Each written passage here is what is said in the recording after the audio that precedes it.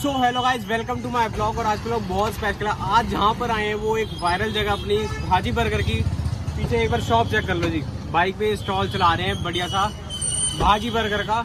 और आज जी बात करते हैं सैनी साहब से कैसे बना रहे हैं और ऐसा कितना फ़ेमस हो चुका है किस वजह से हो चुका है वो भी सैनी साहब नमस्कार। नमस्ते भैया। कैसे हो जी? बढ़िया जी। ये बर्गर कैसे फ़ेमस हो चुका है इतना? ये बर्गर ऐसे ही फ़ेमस हो गया भाई। टेस्ट बढ़िया मतलब? बढ़िया टेस्ट है। कस्टमरों को पता। है ये भाजी किस चीज़ की बनती है? पहले तो ये बताओ। होती है। अच्छा मिक्स वेज होती है। मतलब आलू में बढ़िया से मसाले मिक्स सब्ज़ियाँ डाल सारी सब्ज़ियाँ। अच्छा कितने बजे उठ जाते हो बनाने के लिए सुबह सुबह? सुबह सुबह हो जाते हैं हम नौ बजे। अच्छा जी और यहाँ स्टॉल कितने बजे आ जाता है चार बजे के बाद। सुबह- चार बजे सर्दियों में अच्छा शाम के चार बजे तक रहते चार बजे के बाद। अच्छा जी और कितने बजे तक? दस बजे तक। दस बजे तक रहता है। दस बजे से पहले भी फ्री हो जाते हैं। अच्छा जी अरे वाह। ये प्यार है लोगों का हाँ, बस। प्यार है। कितना प्राइस है? क्या प्राइस है इस बर्गर का? भाजी बर्गर बर्गर का चालीस रूपए प्राइस है। और मैंने सुना भर के मक्खन डालते क्योंकि हाँ। लोगों को मज़ा सा आ है। भर के डालते हैं अमूल अमूल मक्खन है? कौन सा अमूल, अमूल, अमूल। अरे वाह। एक बार चेक करवाते थे आ जाओ। हाँ। अब सबको लग रहा होगा कि खाली भाजी डाल के देते हैं बट ऐसा कुछ नहीं है। यहाँ प्याज टमाटर बंद गोभी पनीर और मक्खन ये सब भी डलता है जी। गोली की स्पीड से बनाए जा रहे हैं। अब भाजी बर्गर पूरे बढ़िया तरीके से। ये मसाला कौन सा है? ये सीक्रेट मसाला सीक्रेट है। मसाला है। अच्छा जी। ये देखो जी। स्पीड चेक करो जी काटने की। अरे वाह। लो जी। मतलब लगभग तीस सेकंड लगे हैं रेडी करने में पूरा बर्गर ये देखो जी। एक बार फिर बोलो हर कोई पाँच बर्गर खा जाए तो?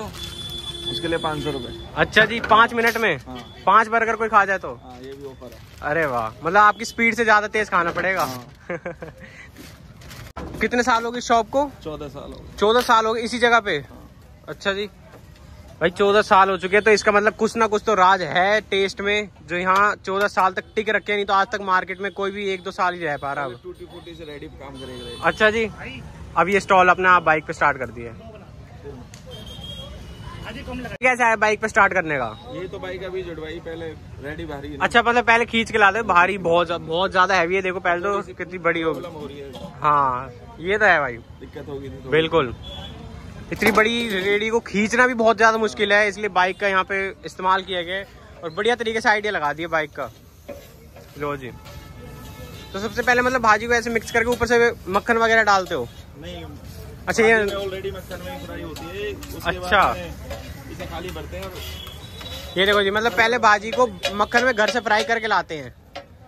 और इस तरीके से बर्गर में भरते जाते हैं। बिना ऑयल के भाई। ये देखो जी।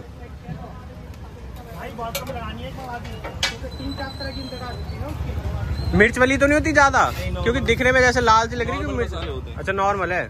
छोटे बच्चे भी खा सकते हैं कोई भी खा सकता है मतलब। यहाँ मतलब हर मिनट ऐसे ही इसी स्पीड से लगते जाते हैं लगते जाते हैं बर्गर। ये चेक करो जी। अब है जी असली राज जिसका असली सा मतलब बढ़िया सा टेस्ट आता है वो है जी अमूल मक्खन। ये देखो जी। सामने प्रूफ भी दिखाते हैं आपको पैकेट भी यहाँ पर रैपर जो है अमूल मक्खन का ये लो जी। ये चेक करो। कस्टमरों को भी पता है। कस्टमर को भी पता है? अरे वाह।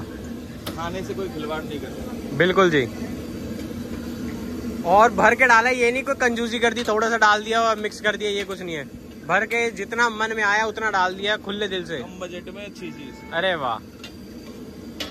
रेडी करने में इसको पूरे को? पाँच मिनट में। पाँच मिनट में हो जाएँगे सारे।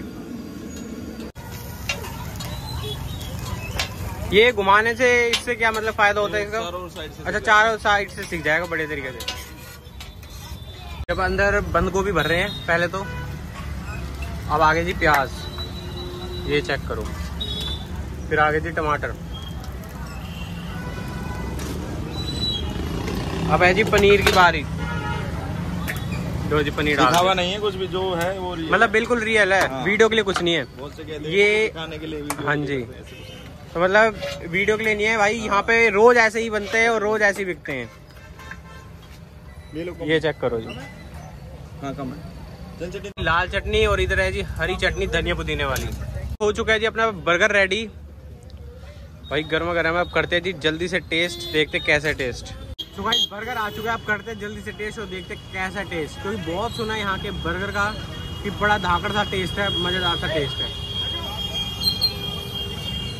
हम्म। भाई जो मसालों का टेस्ट है, बिल्कुल चटपटा सा, मज़ेदार सा है।